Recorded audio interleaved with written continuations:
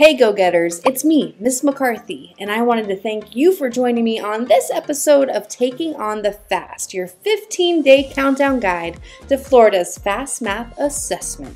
Before we dive in, let me quickly remind you of your big three tips for this practice session and when you take the Fast Math Assessment. Number one, read the problem carefully and make sure that you answer all parts of the problem. Number two, use scratch paper to show your journey, also known as showing your work, but journey sounds a little more fun. Showing your journey is huge, y'all, because it increases the chances that you'll arrive at the correct answer. And if you realize that you're making a mistake somewhere, it allows you to backtrack and figure out where you made that mistake. And number three, dig deep and give it your best. You cannot control what the questions are going to look like, but the one thing that you can control is the effort that you throw down. So give it everything you've got. Today, the next day, really every day, and especially on test day. Now that we've got those big three locked in, it is time for you to press pause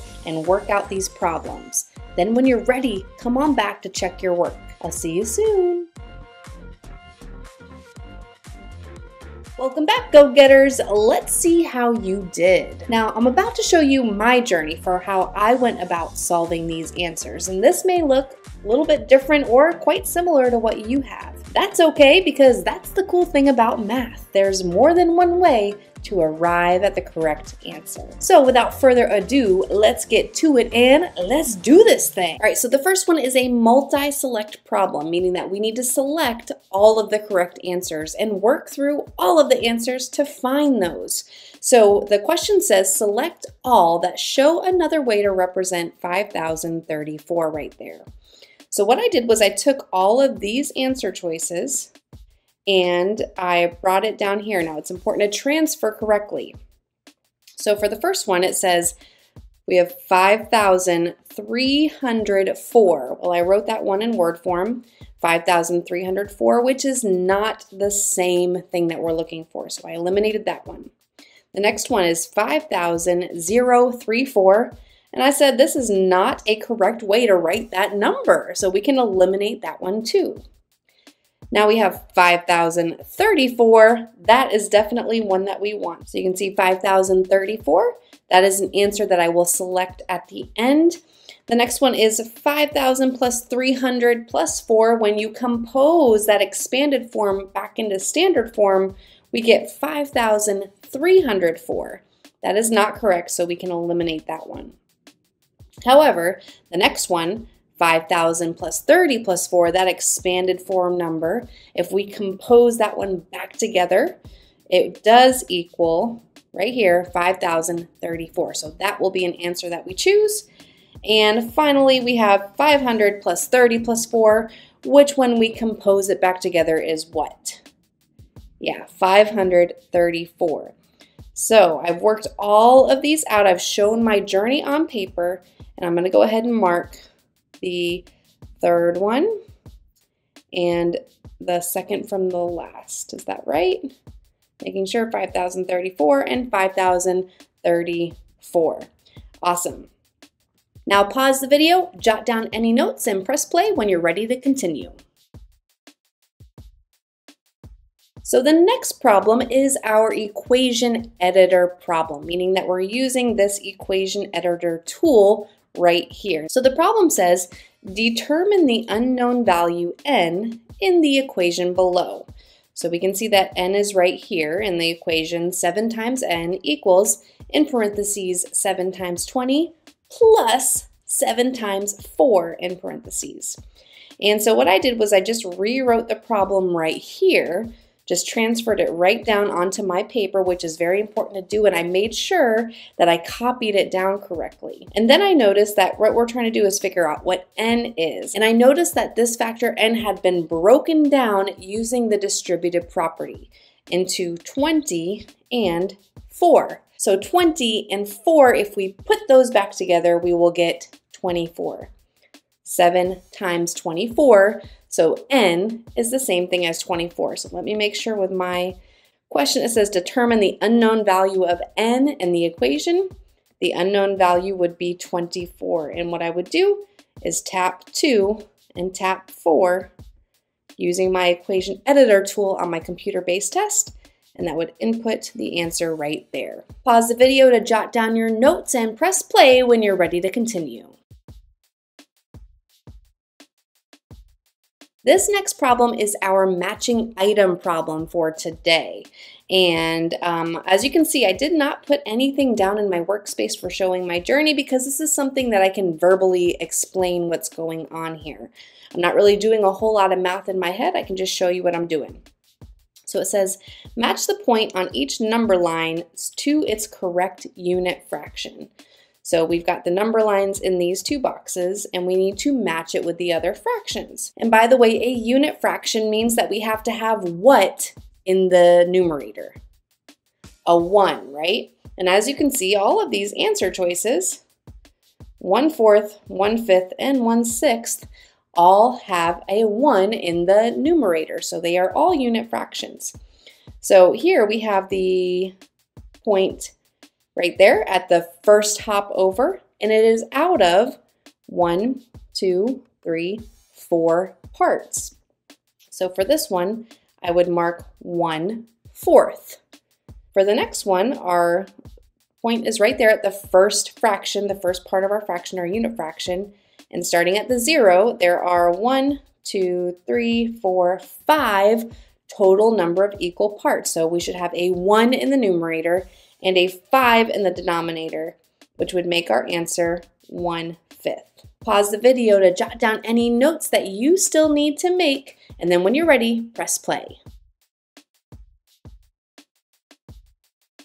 This problem is an editing task problem, all right? And so what we have to do is complete the statement about the two-dimensional figure below to make it true. So this is the two-dimensional figure. I notice what looks like a straight line with two endpoints. That's what I'm seeing. So when I do this, it says the figure above is, and I would click this right here to drop down my answer choices. This figure above is a line, line segment, or ray. Which one is it? Yeah, it's a line segment. I'm going to go ahead and get my red. It's a line segment. Okay, it's a line segment because it contains a straight path. We click this and it populates this right here. I know it's kind of hard to see the border, but it pops up that drop down or drop up menu where we have to pick what we need to select to make it true. So because it contains a straight path that goes on forever in both directions, no, it doesn't go on forever in both directions. It stops because it has two endpoints. So it, that contains one endpoint and goes forever in the opposite direction. What would that be? A ray, right? Or because it contains a straight path, that contains two endpoints, yes. So we would select or click on those two answer choices, and that is how you solve this problem. And notice here that I didn't really show any work for my journey and my workspace because I did a lot of thinking through the vocabulary going on there. I didn't have to work out anything really. Pause the video to jot down any notes that you still need to make, and when you're ready, press play. The next problem is our multiple choice problem of the day. So we're looking for one correct answer here. It says, what is the liquid volume in the measuring cup to the nearest quarter cup? Well, I know that a quarter equals to the nearest fourth. So if I'm jotting that down, I didn't jot that down, but I will over here. Zero fourths, one fourth, two fourths, three fourths, or the next whole so we'll say 4 fourths. This is the same thing as 0. This is the same thing as 1. And 2 fourths would be the same thing as what? It's equivalent to 1 half. Okay, so all of these right here would be to the nearest quarter. What I did was I said, okay, it's pointing. It's between 1 cup and 2 cups. So I know it's 1 and something, and it's at this line right up here, if you can see it. I'm just kind of pulling that information down. I know that this right here is 1 and 1 fourth, and this next spot that it's measuring to would be 1 and 2 fourths or 1 and a half cups. And do we see that as an answer choice? We do, don't we? It's right up here, choice D. So I would mark choice D. Let me make sure though. A says one fourth of a cup. No. B says half of a cup. That's less.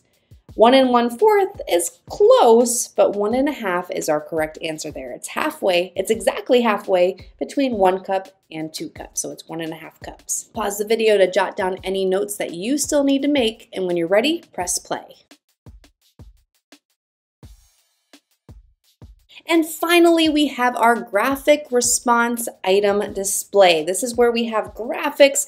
We might need to click, we might need to drag. Things can get really interesting with a graphic response item display question. So just be ready for anything, okay? All right, this one says that the lengths in inches, or written like this, inches, of eight insects are shown in the table below. So we've got a table here with the length of eight insects there three inches, four inches, three inches, five inches, and so on. It says to click the number line to create a line plot showing the lengths of the insects. So over here, we have our line plot. And I did show a little bit of my journey down here, putting them in order. So I said three, three, four, four, four, five, five, and six. And then I counted them again to make sure that there were eight insects. This is going to help me because now that it's placed in order, it makes it easy to go ahead and select my answer. So if I were taking this on the computer, click on this line plot up here. For In this case though, we're going to pretend like we're clicking and, and write on it. So maybe when I click it, it makes an X. So right above the three, I need one, two X's. Above the four, we need three X's because there are three insects that have four inches. How many X's do we need above the five? Two, one, two. And how many insects were six inches long? Just one. So I'm just gonna fix this X right here. So your line plot should look just like this. Go ahead and pause the video and jot down any notes that you still need to make. And when you're ready, press play. Thanks again for joining me on this episode of Taking on the Fast. Before we go, let me remind you that practice is not something we do once we're good, it's the one thing we do that makes us good. And there's still time for you to practice and get these skills locked in. And a great way to do that is to join me on some of my video lessons on taking on the best. I'll see you next time, go getters. Go get it. Go get it. Go get it.